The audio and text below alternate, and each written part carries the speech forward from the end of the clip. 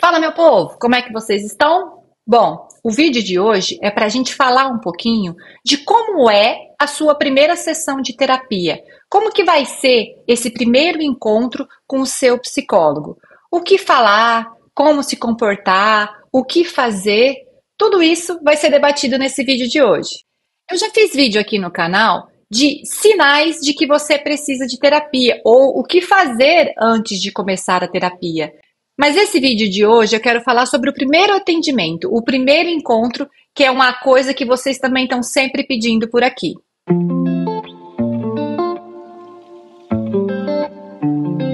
Eu sou Daniela Margotti e esse aqui é o canal do Manual Psicológico, um verdadeiro manual de instruções psicológicas para melhorar a sua vida e a vida das pessoas à sua volta. Quando a gente vai fazer alguma coisa pela primeira vez, sempre gera uma certa ansiedade, medo, insegurança. E buscar a terapia, gente, não é diferente. Encarar a primeira sessão de terapia é desse jeito também. Bom, antes de mais nada, para você ter uma primeira sessão de terapia, você precisa entrar em contato com algum profissional. Hoje, geralmente, os profissionais eles usam é, WhatsApp, eles usam mensagens, porque em muitos momentos eles estão em atendimento. Então, às vezes, você vai mandar uma pergunta, você vai mandar uma mensagem e imediatamente ele não conseguirá responder. Mas dentro da possibilidade, se tiver uma secretária e assim que ele terminar os atendimentos, ele te dará uma resposta. Em consultas presenciais, a gente sempre recomenda que o paciente chegue uns 10 minutos de antecedência, para ele se ambientar, dependendo do lugar, para facilidade de estacionar, de subir até o consultório. Então, 10 minutos já é o ideal para você chegar. Alguns profissionais, antes de você entrar na sessão, eles vão solicitar que você preencha ali um questionário, é, um instrumento que você coloque seus dados, que você coloque endereço, é, dados pessoais. Alguns vão perguntar qual é o motivo que você está indo ali, se você toma alguma medicação, mas isso é muito pessoal. Tem profissional que pede, tem profissional que não pede. Se o atendimento for online, geralmente a primeira orientação é que você busque um lugar silencioso, isolado, que não tenha grandes interferências, que você fique à vontade para falar, que tenha uma boa conexão de internet, que o teu aparelho que você vai usar, que seja celular ou computador, esteja carregado. Tudo isso é solicitado é, para as consultas que são online. Alguns profissionais eles também pedem o preenchimento de um questionário prévio, anterior à primeira consulta. E por que, que eles pedem esse questionário? Porque às vezes facilitam para a coleta de informação. Né? Então, assim, com aquele questionário, o profissional já tem alguns dados que ele já consegue trabalhar com você na primeira consulta. Certo, e aí tá tudo pronto. Você já está no consultório aguardando ou você já está ali sentadinho na frente do seu computador para o primeiro atendimento. O profissional vai entrar em contato com você e geralmente essas consultas duram entre 45, 50 minutos até uma hora. De forma geral, a primeira pergunta vai ser: o que te trouxe aqui? Por que você veio? O que te causa sofrimento? Você já fez terapia antes? E aí a gente vai ter uma conversa para tentar entender um pouquinho da sua vida. Como é o seu trabalho, se você estuda, como é a relação da sua família, quantas pessoas moram com você.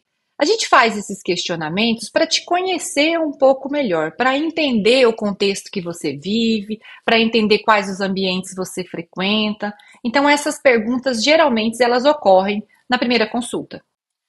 Aí, dependendo das suas respostas, a conversa vai caminhando para um lado, vai caminhando para o outro, mas é sempre nesse sentido é, de uma conversa descontraída, é, da gente tentar entender um pouquinho melhor o seu contexto, a sua vida, como você se sente e o que está te levando ali, naquele momento, para buscar ajuda profissional. Geralmente, é nessa primeira consulta que o profissional te explica como que vai funcionar a terapia, de quantos minutos é, qual abordagem ele utiliza, quais as técnicas que ele vai trabalhar, como vão ser as formas de pagamento, é nesse momento que eu oriento que você tire todas as suas dúvidas em relação a essa prática de terapia. Se você nunca fez terapia e tem dúvidas sobre como acontece, o que você precisa falar, como você deve se comportar, é nesse momento que você deve, inclusive, perguntar para o profissional, tirar essas dúvidas pontuais. Outra coisa importante, sobre pagamento, eu recomendo que você já pergunte antes de ir para a primeira sessão se a primeira sessão é cobrada, qual é o valor da primeira sessão, porque daí você vai de uma forma mais segura, sabendo quanto custa ou o que não custa aquele momento que você está passando ali. Então, pessoal, não tem segredo. Você está procurando um serviço, você está procurando um profissional que vá te ajudar. Não precisa ficar receoso, você está pagando por um tratamento, por um acompanhamento. Então, você tem o direito de fazer algumas perguntas, de entender como é que vai ser o processo, é, a psicoterapia ela precisa estar tá clara para o paciente, ele precisa entender qual é o caminho que ele vai seguir, como que vai ser feito, porque a gente normalmente a gente adere, a gente se engaja a algo que a gente entende e que a gente acredita que vai dar certo. Esse primeiro momento é o momento que você precisa criar uma conexão com esse profissional. É ali que começa a construir o vínculo de vocês. Já é estudado em todo o mundo e comprovado que a psicoterapia, independente de abordagem, independente de tempo, ela tem os melhores resultados quando existe cumplicidade, quando existe vínculo, credibilidade entre esse profissional que está te atendendo e você. Por isso, se nesse primeiro encontro ficou ressalvas muito grandes, você não gostou do jeito que ele fala, você não gostou do comportamento, você não entendeu o que ele falou, eu recomendo que você procure um outro profissional e faça uma primeira consulta. Para você poder comparar, para você entender os métodos, às vezes, naquele momento, uma outra abordagem seria mais recomendada para você. O importante é você não desistir, não deixar de procurar. Não é porque na primeira consulta você não criou vínculo com aquele profissional que você vai desistir da terapia. Se você entende que o profissional foi um pouco seco, um pouco diferente daquilo que você esperava, mas acredita que ele tem potencial e essa relação tem potencial de dar certo, eu sugiro que você siga mais um tempo. Faça umas duas ou três consultas para você entender melhor essa relação. A partir do momento que você percebe que não criou vínculo, não, não se conectou, ali não encontrou, procura outro profissional. Existem centenas, milhares de profissionais por todo o Brasil que atendem de forma presencial ou online e que podem te ajudar de alguma forma. O que a gente não pode é generalizar. É, eu percebo muito isso hoje em dia. Então, se você procurou um profissional que não deu certo, um profissional que não te atendeu bem, que não foi é, de acordo com as suas expectativas, vocês generalizam a gente, né? A gente generaliza e acredita que nenhum psicólogo é bom, que fazer terapia não dá certo. E não é verdade, porque você experienciou poucos profissionais.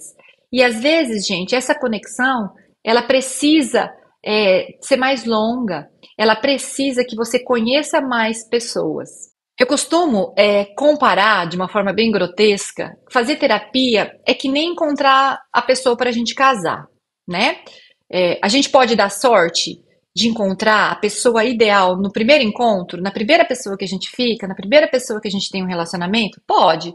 A gente pode ter essa sorte grande.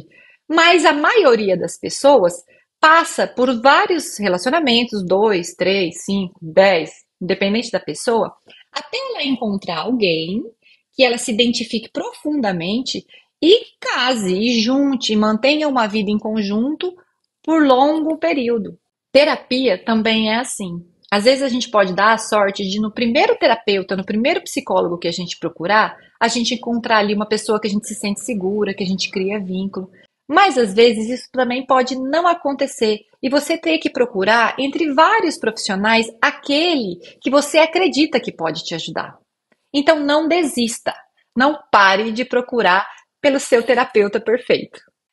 Então, eu queria que você saísse desse vídeo pelo menos entendendo que terapia, gente, funciona sim, que existem excelentes profissionais e que você merece o melhor atendimento possível. Você está pagando por um serviço prestado por um profissional a você. Você tem direito de exigir o melhor atendimento, de querer entender o processo e principalmente de se sentir bem nessa relação. Bom, eu acho que era essa a mensagem que eu queria deixar nesse vídeo para vocês. Queria que vocês deixassem aqui embaixo nos comentários se vocês fazem terapia, se vocês gostam do seu terapeuta, que vocês já trocaram de terapia, quantas vezes vocês, até vocês encontrarem a pessoa ideal de vocês. Deixa aqui nos comentários. Aproveito para pedir para você se inscrever no canal, curtir esse vídeo, tudo isso ajuda a amplificar a gente na internet e chegar a mais pessoas. Eu quero agradecer por você ter ficado até o final desse vídeo e quero dizer que se esse vídeo te ajudou de alguma forma, compartilhe com as pessoas da sua rede de contato, porque assim eu consigo chegar em mais gente e consigo ajudar mais pessoas. Tchau, tchau, até a próxima!